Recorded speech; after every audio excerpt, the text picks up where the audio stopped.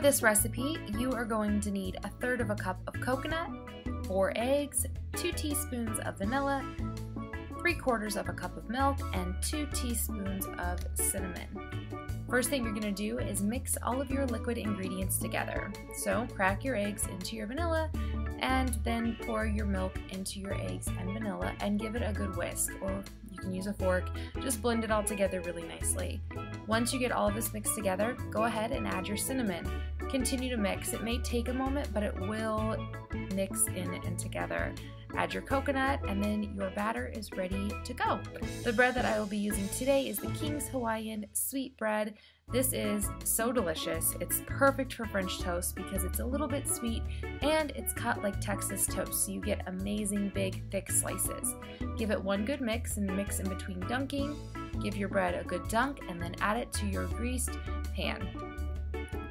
Once the French toast has been on there for a little while and I don't know about you guys, but every time I make French toast, I drop my utensil in.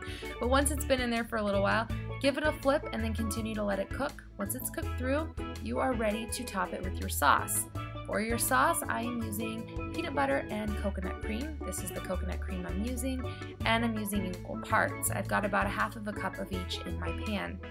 Mix these together on medium heat until they are completely blended together and melted.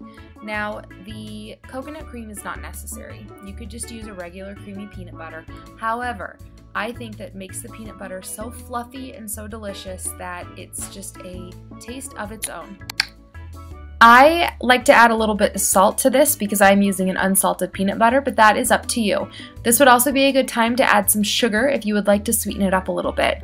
You could throw in a little bit of powdered sugar and make it a sweeter peanut butter if you desire. Again, not necessary, you can always add something later.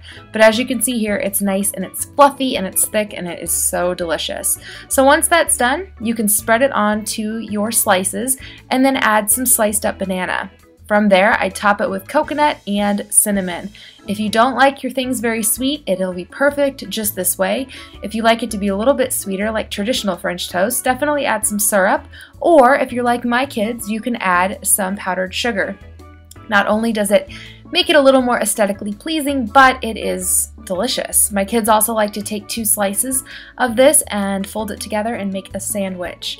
This is the way they've been eating it and they've been absolutely loving it. As you can see here, my son is a big fan. I hope you guys enjoy. Thank you so much for watching and I will talk to you soon. Goodbye.